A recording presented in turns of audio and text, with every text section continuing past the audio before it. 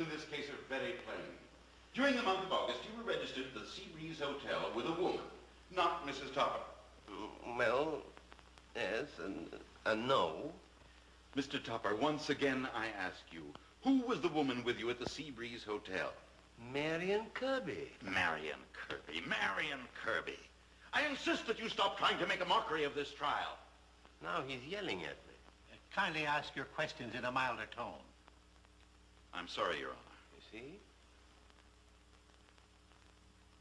All right, I'll put it another way. Was there a woman with you at the Seabreeze Hotel on August 2nd? Yes. And no. Was there or wasn't there?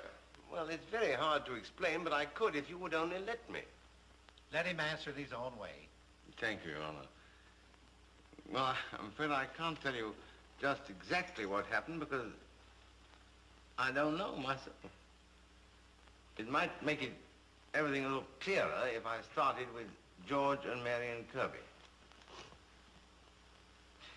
You see, it all began that day in June when George and Marion drove back home. George,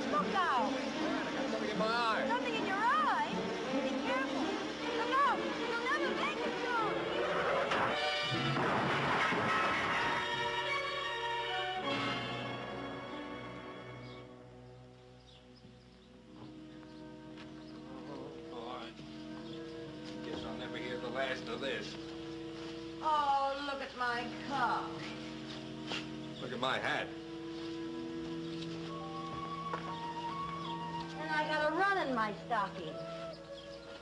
I told you to slow up, would you? Oh, no. Can I help it if a tire blows out? Besides, I had something in my eye. Couldn't have been your driving, could it? Hey, I've come around that curve much faster lots of times. So have you. Oh, and it was such a lovely car, too. Oh, George. Hmm? You're getting transparent. You're fading.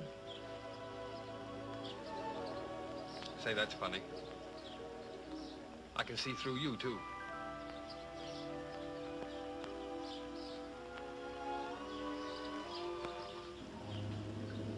Say, who's that?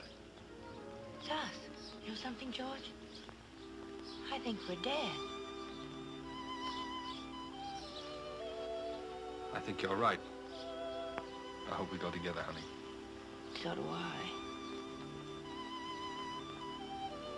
Marion, what do you suppose is the conventional thing to do now? I don't know. We've never been conventional. I think we tell someone our good deeds, and then they open up the beautiful gates and let us through. Yes, but what good deeds have you done? Oh, dozens. Name one. Well, I've, uh, Mhm. I've, uh... Say, what good deeds have you done? Well, I... At least we haven't done any bad ones, honey. You know, if we could do a good deed now, if we could... Oh, George, you're fading. Well, my trouble really began when I bought the Kirby car. That is, after it was fixed up, of course. My wife objected, so there was only one thing to do, and I did it. I ran away from home. It was a big car, and I wasn't used to driving such a powerful one. Naturally, I was, I was somewhat nervous.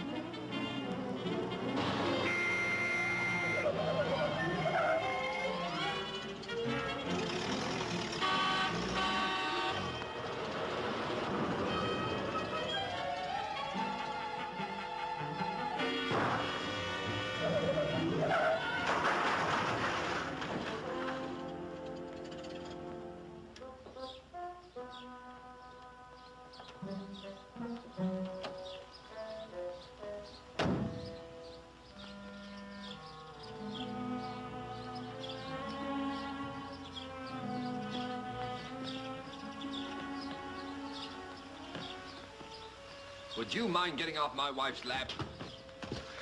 Who said that?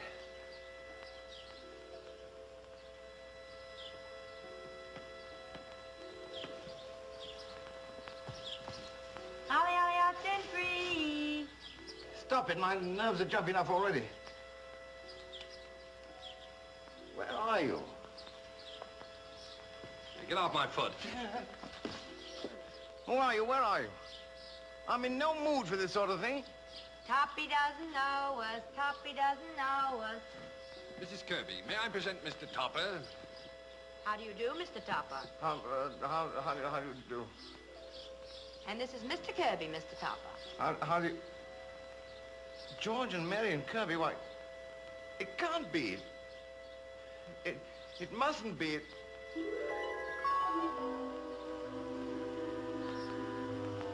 It is. Oh, dear, dear. Topper's fainted. Get some water, Marion. Water.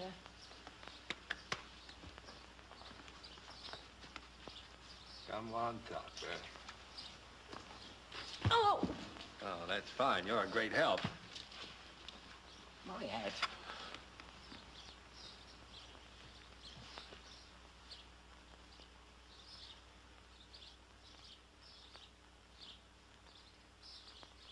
Oh, no, no, no, it can't be. It, no, no, no, no. If you don't mind, I'm going to get in my car and drive home. No, Topper. Sit down, Topper. You can't get in your car and drive home because you've got a flat tire. Besides, it isn't your car, it's ours. Well, uh, I'll, I'll walk. You can have the car. Mrs. Topper doesn't like the horrible thing anyway. Oh, George, did you hear that? Well. Mrs. Topper doesn't like the car.